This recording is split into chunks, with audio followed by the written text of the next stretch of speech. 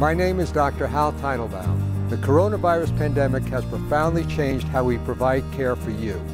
And thanks to our staff, our community, and our patients, we are responding to these extraordinary times. Now, we want to focus on your health by meeting your needs more quickly, efficiently, and safely than ever before. We're here for you on telehealth, in person, or however you need us. Because at Crystal Run Healthcare, we want you healthy.